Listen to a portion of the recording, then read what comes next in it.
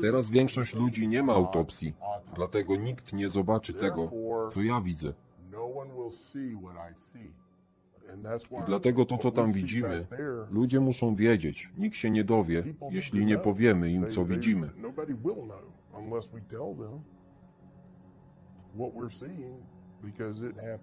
Bo to się dzieje, potem masz odwiedziny i pochówek i koniec.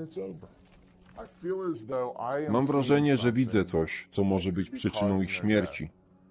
A zmarli nie mogą mówić za siebie.